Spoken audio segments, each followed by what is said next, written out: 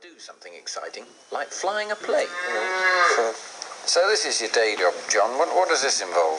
right, it's um, selling products to farmers and dairy herds and other herds as well. More They love it, don't just, Yeah, they're, they're, they're lapping it up just now. And you, you service the other end of the cow as well, I believe. That's right. We um, we put another liquid um, and powder onto um, their muck, which is stored in a in a, in a tank, and it stops it smelling so much. Couldn't you put a bit more on it round here? Well, I'm trying to speak to the farmer just now, but I'm sure we'll get round to it. Smelly for a city boy.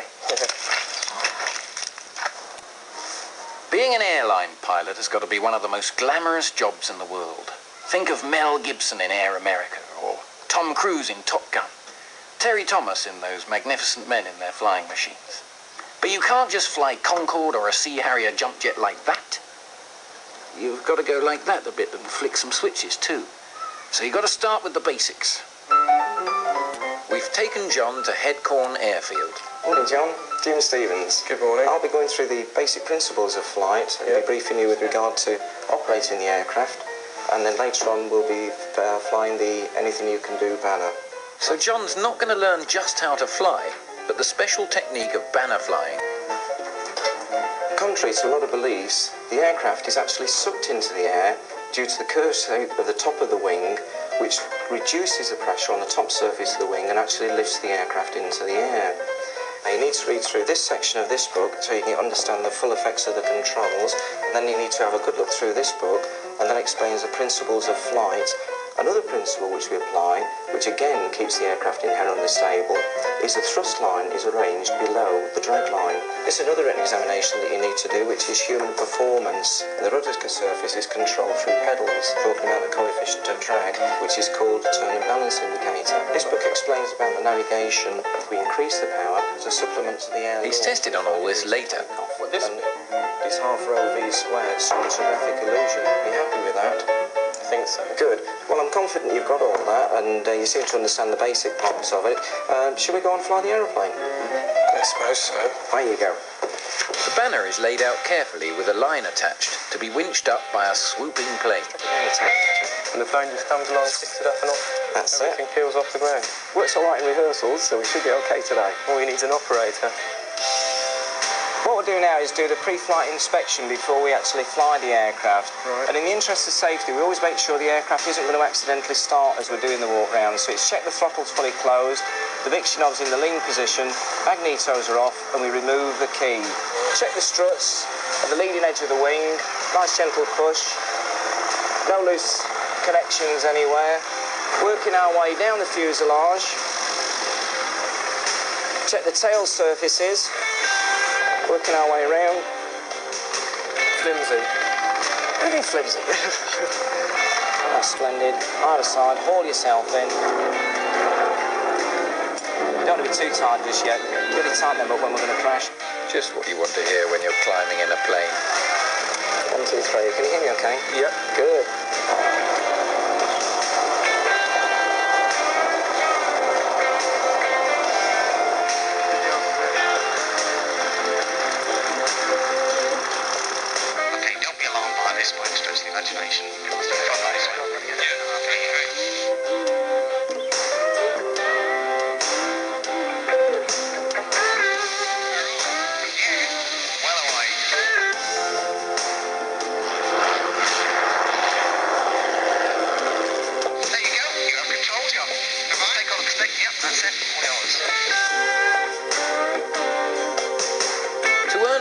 As a pilot, you'll need a professional license.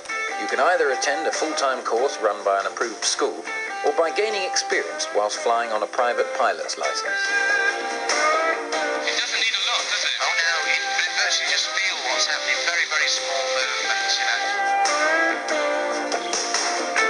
I think I've been to that farm, you know. Really? Yeah.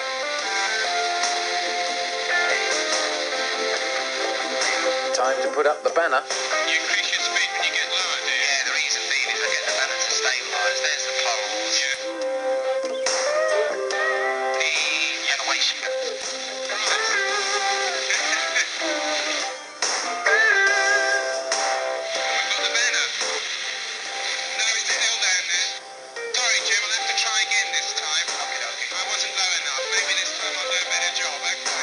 Let's hope it's second time lucky.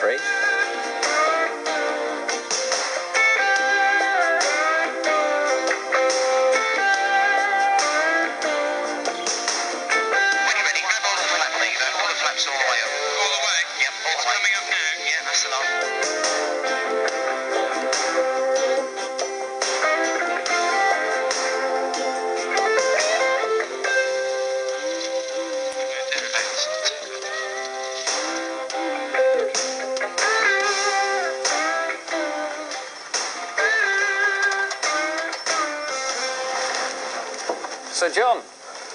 Wonderful. John, John. How was it? That was You said with a very bad hit. Was it? Oh. Absolutely wonderful. Is this the beginning of a new career for you? Well, I certainly know I'll be able to do my calls a little bit quicker now. Did you actually give up? The, would you give up the slurry and the sludge for this? I think so, yes. Yeah. Looks like the business, doesn't it? Yeah, it's fantastic. It's absolutely wonderful. Thank you very much, Jim. You did very well, John. That was excellent. So this week we found out what happened when an archaeological conservator swapped jobs with a horse trainer. And also we let John Wilson do his dream job. Although quite why someone would want to fly